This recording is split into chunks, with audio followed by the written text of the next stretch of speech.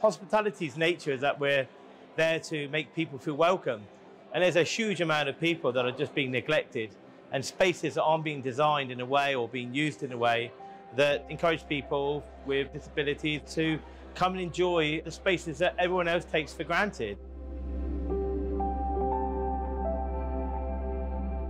We're very excited because this is the launch for our 2023-24 Blue Badge Access Awards. And what better place to meet and talk about what we're doing than at this event. The idea of the Access Awards is we're rewarding venues that have had a thoughtful, innovative and design-led approach to accessibility. We started at the House of Lords in 2016. It's amazing to see how it's progressed over the years. We've moved around the country trying to garner people who want to tell us about their hospitality venues that are doing something special or interesting to celebrate and make access higher up the agenda. I think this is quite important. We need a lot more of that in the world.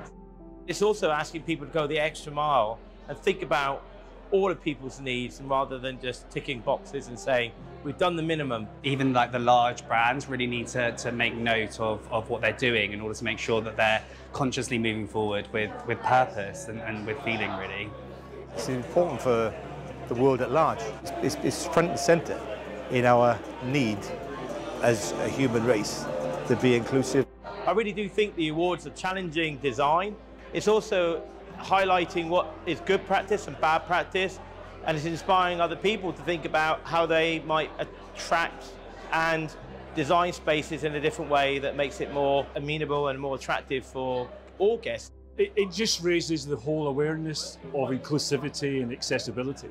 Um, and it just it touches the nerves of lots of different people who should be knowing better and the designers who are helping making the place a bit better. I think it's really important because showcasing good accessibility doesn't only inspire other businesses to get involved and see the importance of it, but it also allows people with disabilities to know what's out there and what they can do and be able to spend their purple pound money this is a really great opportunity to, to take it and to, to make it worthwhile. And what we're seeing tonight is that there's a huge ROI in, in adding these accessible um, spaces that, that feel like the rest of the hotel.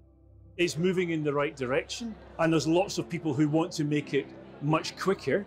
That's part of our job, is to help that progress. It's people like Robin and Fiona that, that make this topic human. That's what captures the emotion. And I feel as if that is what will lead to change moving forward.